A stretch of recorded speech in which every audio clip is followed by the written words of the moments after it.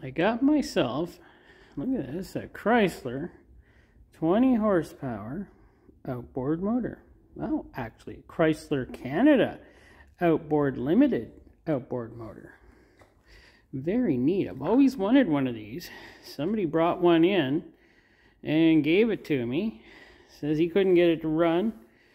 It's in uh, not the best of shape, but it's been used well over the years, he said.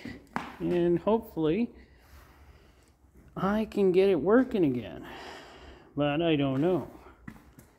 I will definitely try to get it working again. It's pretty neat.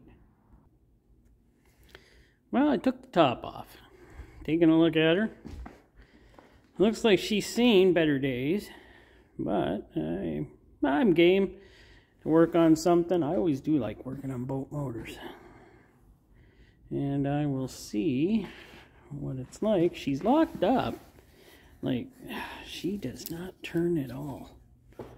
So I'm going to have to figure that out. I'll have to take off this uh, valve cover here and take a look inside. Uh, the guy did say it might have been sitting in water for a while. He's not sure. So, I'm gonna have to take a look at her, see what's wrong, see what's up with it. Hopefully, I can uh, clean her up real well and maybe get her running again. Would be nice, nice 20 horse. If not running again, well, I don't care. I like old engines and I like these things, so uh, can just sit around in my shed for a while so I can look at it. Yeah, it's a very nice motor.